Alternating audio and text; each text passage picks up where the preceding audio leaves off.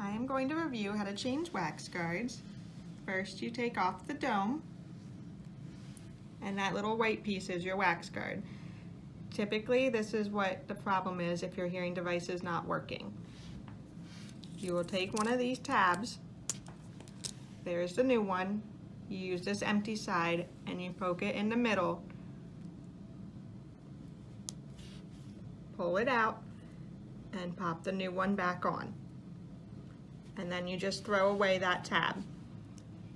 Then you slide the dome back on and you have successfully changed your wax guard.